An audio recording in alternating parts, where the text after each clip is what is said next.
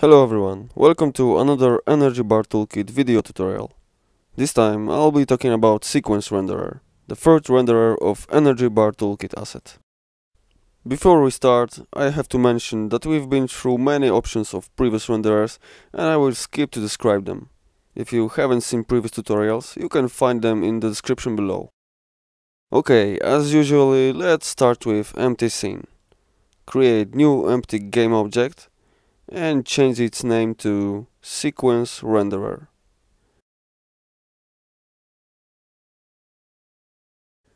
Our renderer is placed in Energy Bar Toolkit, Scripts, Energy Bar Sequence Renderer. As before, drag it to inspector view of our object, and again, like in previous renderers, you will see four sections. Textures, position and size, appearance, and effects. And as before, I'll be talking about differences.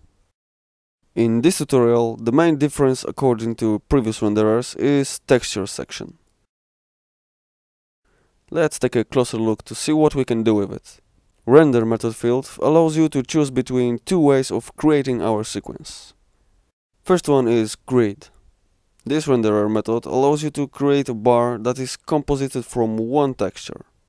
Our texture is placed in Energy Bar Toolkit, Example, Textures, Sequence Bar, and Grid. As you see, this texture is just composition of dozens of pictures representing following states of bar values in form of grid. Now drag this texture to Grid Texture field. In grid width field, enter number of columns in the first line starting from left. You should count 7. In grid height, enter the number of rows counting from top left, and this is 9. In frame count field, enter the exact number of textures in case where our grid isn't completely filled, like here. In other case, you can leave it empty. We have 59 pictures in grid changing value current will move between all of them.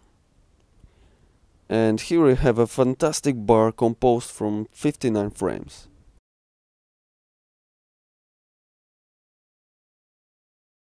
Next render method is sequence.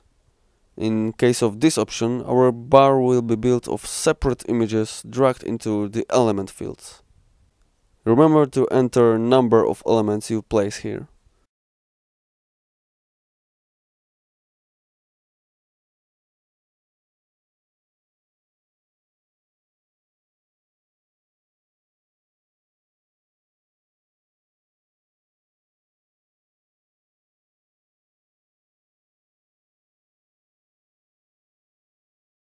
After you do this, it will behave exactly the same when you change its value. As you see, you have two methods to build your energy bar and it's up to you which one you choose. Both of them works fine, but grid method in most cases is just more convenient. Rest of available options here are the same as in previous renderers, and I think there is no need to show how they work. And this concludes this short Energy Bar Toolkit sequence renderer tutorial. I hope you found it interesting and helpful and I wish you to create many great energy bars to your game.